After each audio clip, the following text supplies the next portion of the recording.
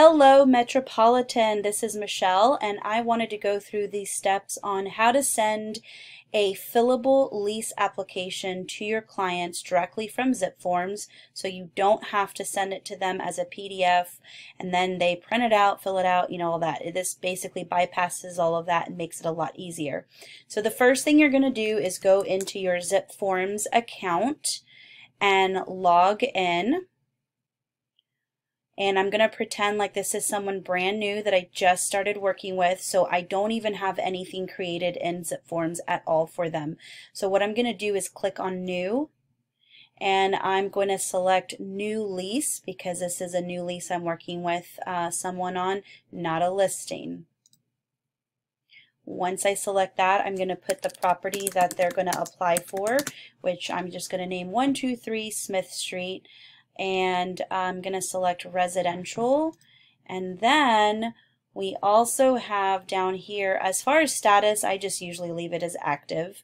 And then you should have available under templates uh, right here it'll say office metropolitan templates.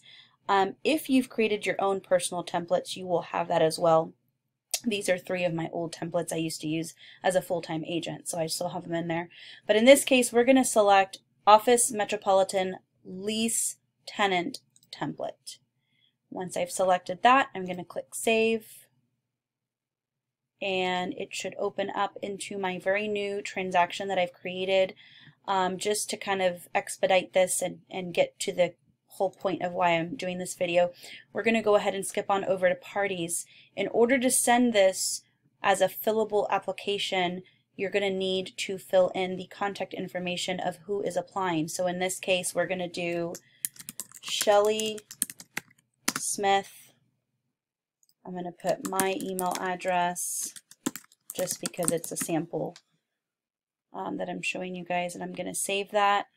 And then um, let's go ahead and do tenant number two, Bobby Smith and I'm actually going to just put my email again. I'm just putting in whatever. Um, obviously, you would put the correct information for your clients. Okay, so I've got Shelly Smith and Bobby Smith. So uh, now we're going to go to the document tab.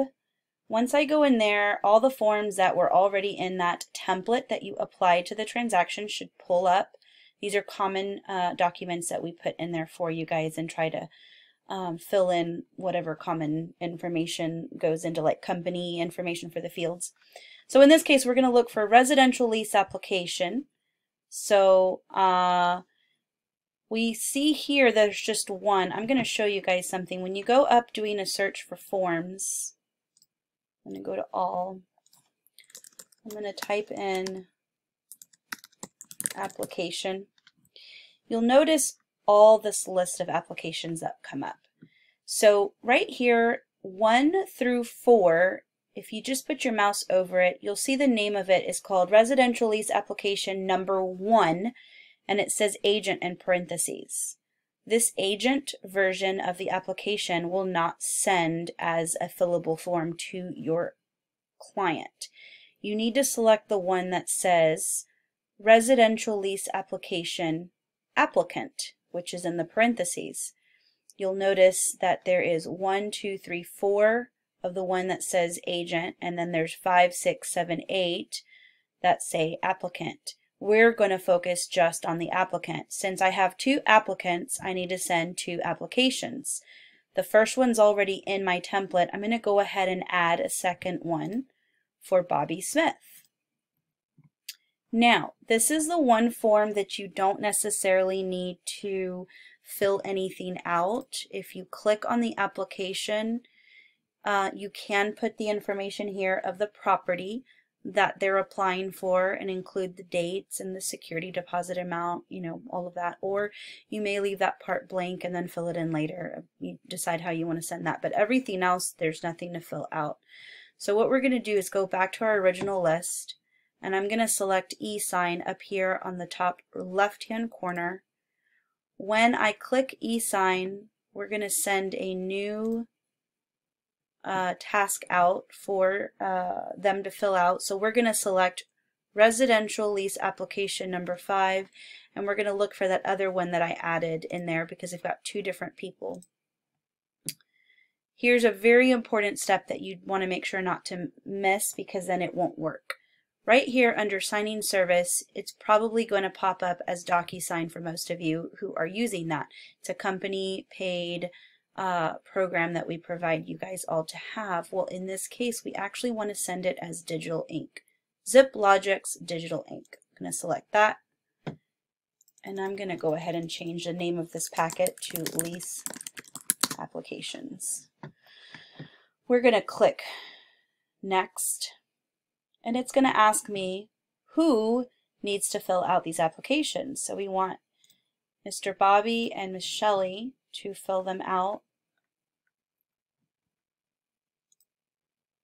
Got both of them and we're going to click next. And then the next page that you see is going to pull up the documents that they both are going to need to fill out.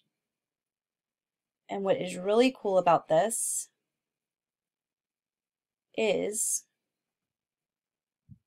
if you will notice, these fields all have like text boxes in every single spot and that's what they're going to fill out. So that, this is the first application. And then as I continue to scroll,